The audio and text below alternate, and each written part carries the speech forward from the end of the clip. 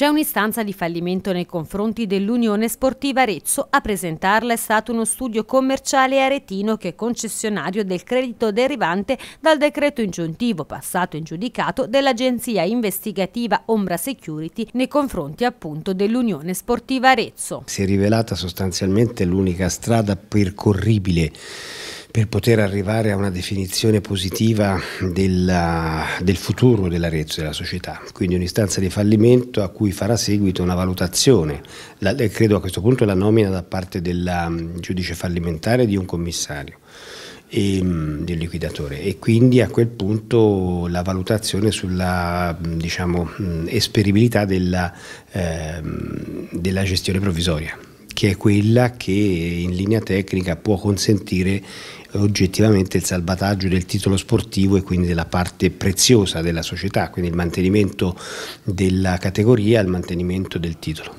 Ecco, cosa succederà adesso?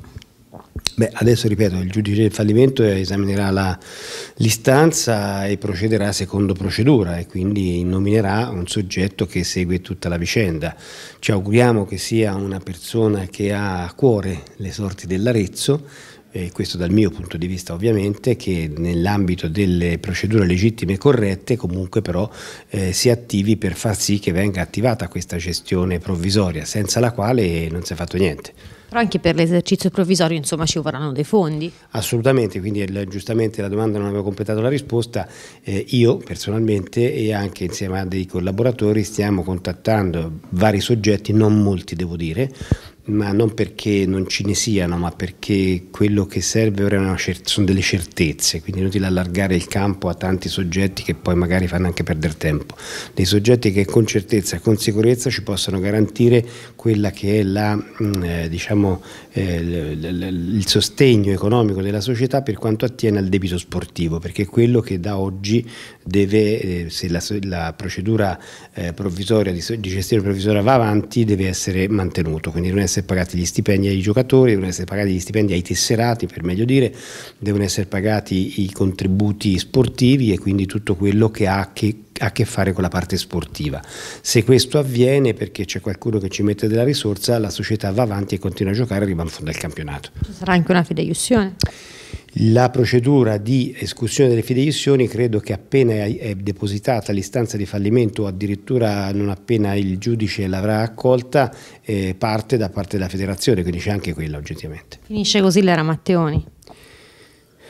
Finisce così l'era Matteoni. L'era Matteoni termine improprio perché sì, in realtà lui ha incarnato la presidenza, ma di fatto il, le, le, diciamo, la capitalizzazione non era la sua, era di altri, era di Neos e quindi di altri soggetti apparentemente anche molto solidi che però non hanno dato dire, affidabilità nella gestione del, della situazione ordinaria.